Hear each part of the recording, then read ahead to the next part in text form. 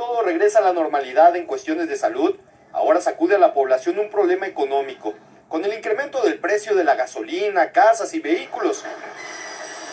Pero la carne de res, otro de los productos que más está impactando al bolsillo del consumidor, a tal grado de tener que cambiar de menú en el hogar. Si comíamos carne cuatro días a la semana, a lo mejor ya son menos los días y sí tienes que pues ya ahorrar un poquito más. Más marisco. Ha incre- ha incrementado mucho. Mucho porque yo pienso que es por cuestión de la, de la pandemia. Como te digo, sí han tenido que subir los precios, pero no, no tampoco tan drástico. Y a ver, mantenemos los clientes todavía igual. La Chancla es uno de los restaurantes que inició como todo negocio, con un gran sueño de crecer hace cinco años.